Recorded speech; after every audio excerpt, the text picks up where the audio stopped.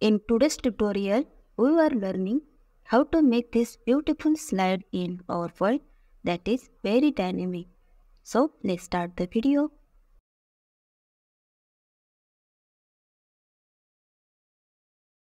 Go to insert, click on picture and insert picture from this device.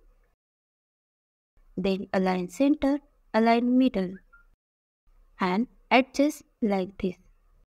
Select this. Go to crop and cropping image like this. Click on outside. Select this image. Go to crop and cropping image like this. Click on outside. Go back to insert. Click on shape. Select line. Hold shift and drag to the center of the slide. And we will use white color here. Go to more lines and increase width size. As the next step, we are going to duplicate the slide. Select this image, go to crop and cropping image like this. Click on outside. Also take the line to the right. Let's duplicate the slide again. Go to crop and cropping image like this. Select this image Go to crop and cropping image like this.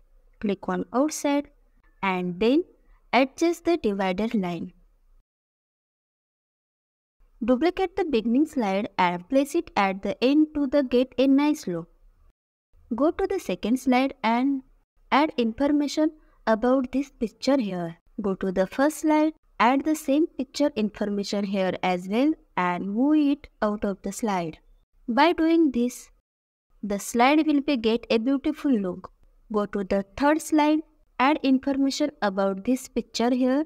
Go to the second slide, add the same picture information here as well. And move it out of the slide.